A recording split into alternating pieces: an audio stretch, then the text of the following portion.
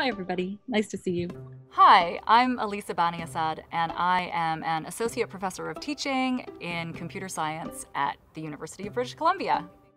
One of the things that I really love about teaching is the interplay between me and the students and the way that we're generating ideas together. And I was really worried that we would lose that when we went online.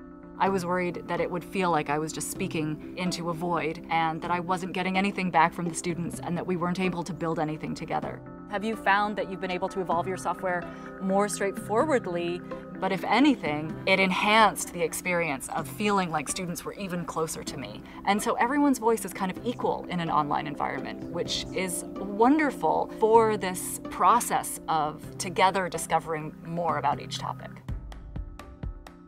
One of the things that I started doing spontaneously when we went online was actually having more social connection with the students. This is something that I never did before, but I knew really well that everybody, including myself, was feeling really, really isolated.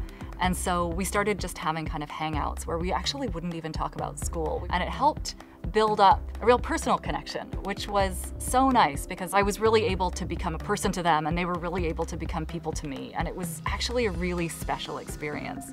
Okay, hi everyone. Uh, welcome back to the live stream update. This is such a strange situation for everyone to be in, that we're all stuck at home, feeling very alone. So, being part of an online learning community means that you have a common purpose with a lot of other people, all of whom are trying to do the same thing you're doing. It can transport you out of your isolation into a joint activity. What can students do to make online learning work for them? What have you found? Like, you've all been having to grapple with this. What have any tips?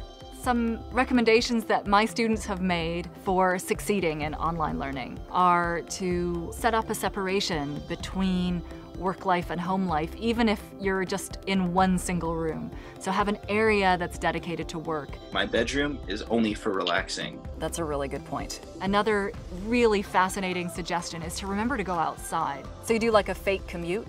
Does anybody I, do a fake I commute? do a fake Yeah. commute, yeah. Oh, yeah. It's a good idea. I never thought of Good that. idea. And then when you get back, you can really feel like you've arrived at class and you can engage in that way. Even if you're just watching a video that you've downloaded, you'll be able to set up that boundary between home life and work life.